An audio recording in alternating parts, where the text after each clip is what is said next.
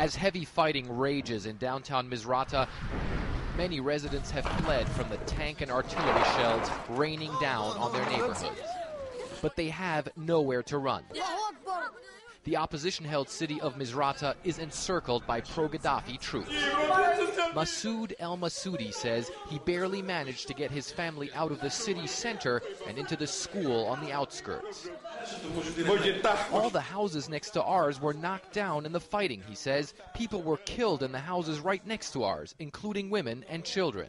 Constant barrages of artillery, tank, and mortar fire have clearly traumatized especially the children. And as urban combat destroys more and more of downtown Misrata, many foreigners who came here to work during better times are now stranded.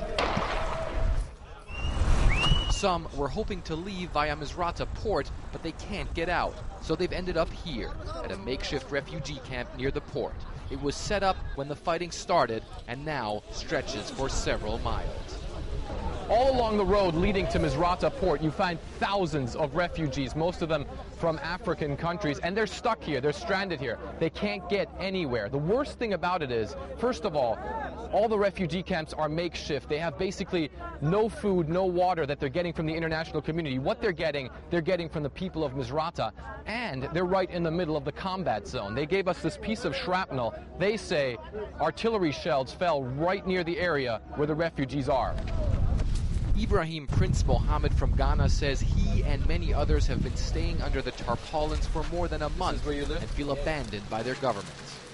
Want to go to Ghana simply because anybody, anybody will not be comfortable to when he's hear gunshot and uh, uh, shouting all over the the, uh, the the city that we want to we want people are dying people are dying we are not comfortable. We want to leave.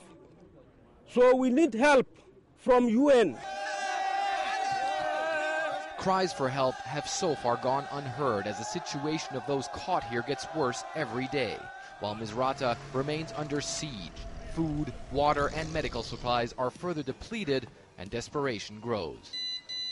Fred Pleitgen, CNN, Misrata, Libya.